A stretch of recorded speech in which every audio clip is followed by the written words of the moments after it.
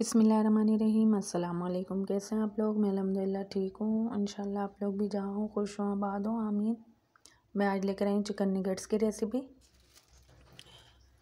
Chicken लिए मैंने आधा किलो। इसमें जाएँगे तीन से चार, तीन या चार स्लाइस ले लें। आप इसमें मैं देखूँगी ज़रूरत पड़ेगी तो ले लेंगे। एक अंडा जाएगा इसके अंदर। चेडर चीज़ जाएगी। सौ ग्राम के बराबर। नमक जाएगा हाफ़ टी स्पून।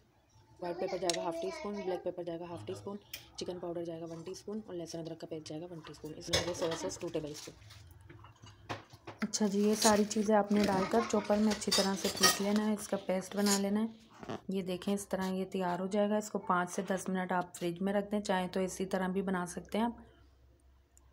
अब ये मैं कोडिंग के लिए तैयारी कर रही हूँ। ब्रेड क्रम्स ले लिए थोड़े से। एक प्लेट में, एक प्लेट में मैंने मैदा ले लिया, एक प्लेट में मैंने एक अंडा फेंट लिया है। अब मैं इसको हाथों पे ऑयल लगा लेना हल्का सा ताकि चिपके ना बैटर जो हमने तैयार किया है ना। तो बस इस तरह आप अपनी मर्ज़ी से शेप दे लें जो भी आपके बच्चों को पसंद हो और इस तरह आप शेप दे के और आप इस तरह मैदे में करेंगे पहले।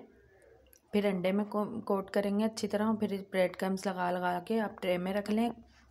और इसी तरह ट्रे अगर आपने फ्रीज़र करने तो इसी तरह ट्रे को उठा के ये सारे रेडी करके ट्रे को उठा के आप फ्रिज में रख दीजिएगा। जब ये जम जाएँ तो आप इसको ज़िप लॉक बैग में डाल के और रख लीजिएगा। बिसमीम ये देखें मैंने ऑयल गरम कर लिया था। आप ऑयल अपनी मर्ज़ी से ले सकते हैं, ज़्यादा या कम। मैं बहुत ज़्यादा नहीं लिया फ्राई पैन में तैयार तैयार कर रही हूँ उनको। सारे डाल दिए मैंने। चार से पाँच मिनट में एक साइड पकाऊँगी और चार से पाँच मिनट में दूसरे साइड पे पकाऊँगी। बहुत ज़्यादा तेज़ आँच पे नहीं पकाना, वरना जल्दी से इन पे कलर तो आ जाएगा, पर अंदर से कच्चे रह जाएँगे। अगर आपने बिल्कुल बाज़ार जैसा लुक और टेस्ट लाना है तो ये सारी चीज़ें आपने डालनी पड़ेंगी, जो बहुत मज़े का टेस्ट आया था। ये देखें, मैं आपको दिखा रही हूँ, इस तरह शॉपर में करके रख दें। आप लंच बॉक्स में बच्चों को दे दें, मेहमान आए, कोई भी आए, चाय के साथ आप खा सकते हैं। ये मैंने अपने बेटे की बर्थडे पे बनाए थे उसके लिए। क्योंकि मैं ज़्यादातर कोशिश करती हूँ बच्चों को उनकी बर्थडे पे घर की ही बनी हुई चीज़ें मैं उनको खिलाती हूँ और वो बहुत खुश होते हैं बच्चे। ये देखें, बहुत ज़्यादा गर्म ऑयल नहीं है। देखें, आप देख रहे हैं ना, बिल्कुल हल्की सी आँच पे मैंने बस बना रही हूँ इनको, ताकि अच्छी तरह अंदर तक पक जाए।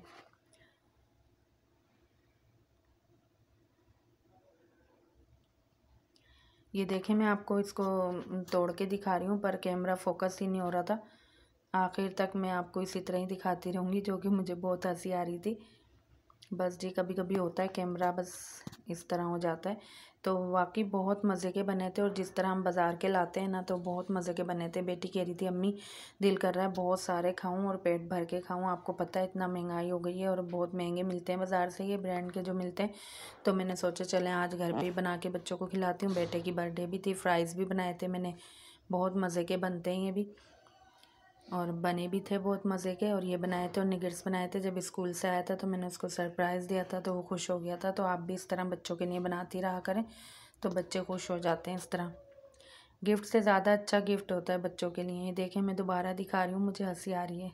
दोबारा आखिर वक्त तक मैं दिखाती रहूँगी पर कैमरा फोकस ही नहीं हो रहा था। जिसे बाज़ार में मिलते हैं ना, बिल्कुल वैसे ही बने थे। आपको मेरी वीडियो और मेरी रेसिपी कैसी लगी है, मुझे लाजमी बताइएगा। और ब्रेड ना, आप लाजमी सिंपल वाली जो होती है ना, वो डालिएगा, मीठी नहीं डालिएगा, ठीक है? चलें, आपको मेरी रेसिपी कैसी लगी और मेरी वीडियो तो लाजमी बताइएगा कमेंट्स करके। अल्लाह हाफिज़, फ़ी अमान